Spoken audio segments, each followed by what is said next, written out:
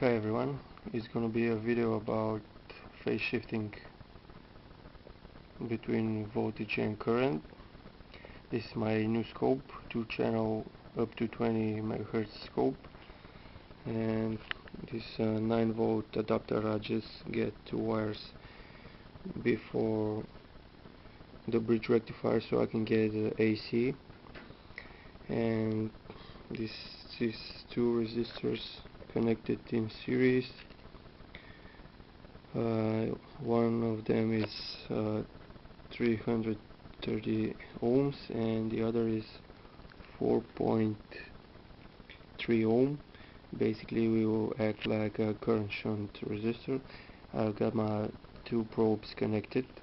The green one is channel 1 uh, it's probe the voltage across the resistors and the, the red one channel 2 probing the voltage across the 4.3 ohm resistor. It's basically will give us the current through the whole circuit. And let's let's try let's see what is the if there is any any difference between the phase of this circuit. So turn on my scope.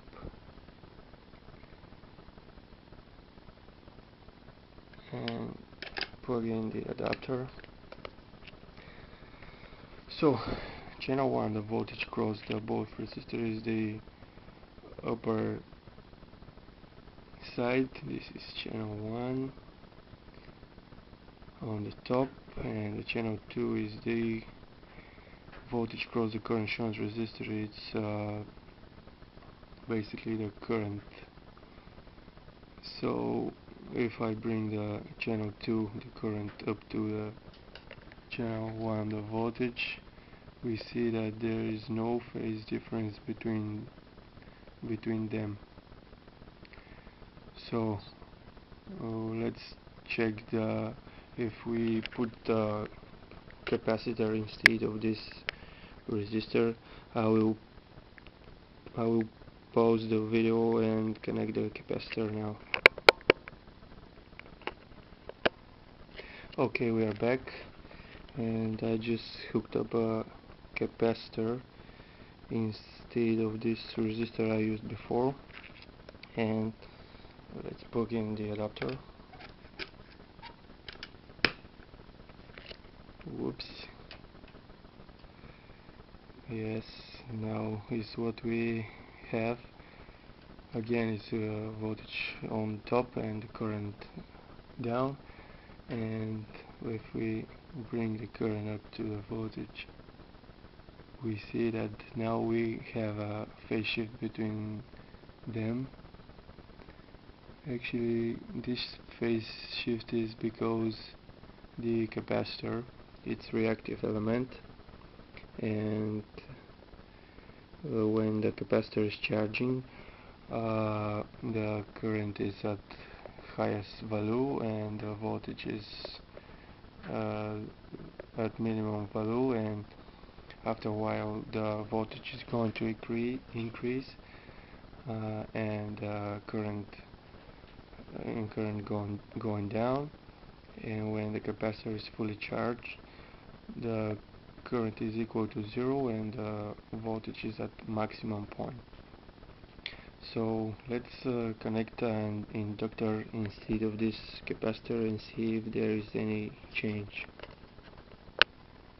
Okay I'm back uh, and uh, just connect the inductor I'm using. This is basically a 12 volt adapter uh, transformer. And I actually using only the the secondary this is the only free, uh, primary this is the secondary is not used in this setup. And uh, let's the adapter. And I will adjust the voltage divisions. So that is our data. And uh, as you can see now is this is a phase shift again and now the current is on the downside. And if we bring up to the voltage as we can see there is a, a voltage leading and uh, current uh, lagging about 90 degrees that is uh, because the inductor have uh, windings wound and uh, these uh, windings uh, when you try to to put the current through them mm, in these windings uh, there is going to have, have a voltage of self-induction and this voltage will oppose the the current you're trying to run through the the inductor. So basically the inductor opposes of changed of changes of current. And this is the phase shifting between the current and voltage with inductor that's it for now. Thank you for watching